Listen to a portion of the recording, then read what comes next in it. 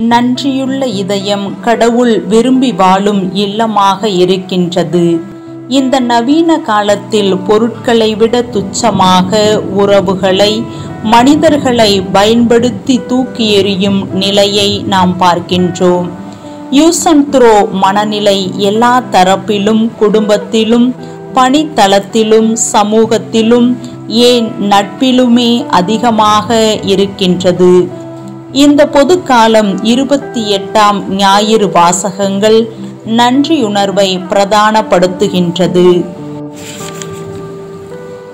என் நன்றி கொன்றாருக்கும் உய்வுண்டாம் உய்வில்லை செய் நன்றி கொன்ற மகர்க்கு என்ற திருக்குறளும் திணைத்துணை நன்றி செய்யினும் பனைத்துணையாய் கொள்வர் பயன் தெரிவர் என்ற குரலும் நன்றி உணர்வை நம் அன்றாட வாழ்வில் அடிப்படை பண்பாக கொண்டு வாழ நம்மை அழைக்கின்றது.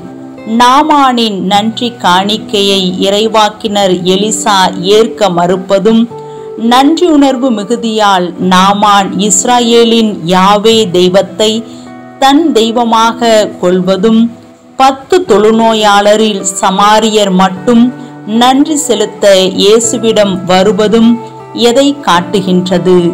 நாம் செய்யும் உதவியின் பயனை முழுவதும் உணரும் மனநிலை உள்ளவரிடம் இயல்பாக நன்றி உணர்வு வெளிப்படும் என்பதை காட்டுகின்றது. உள்ளவனுக்கு கொடுப்பதை விட இல்லாதவனுக்கு இயலாதவனுக்கு செய்வது நம் உதவியின் பலனை அதிகரிக்கும். நிரம்பி இருக்கும் ஜாடியில் தண்ணீர் ஊற்றுவது போன்றது இருப்பவனுக்கு கொடுப்பது. அது தேவையற்றதாக தொல்லையாக பார்க்கப்படும். நாம் காட்டும் அன்பும் நாம் கொடுக்கும் உறவும் அத்தகையதே. கடவுள் முன் நம்மையே நிரப்பிக்கொண்டு நிற்பதை விட வெறுமையாய் நிற்போம்.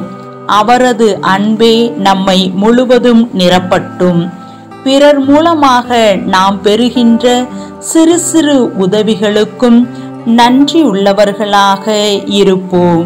நன்றி உணர்வினால் நானிலத்தில் நம் தடத்தினை பதிப்போம்.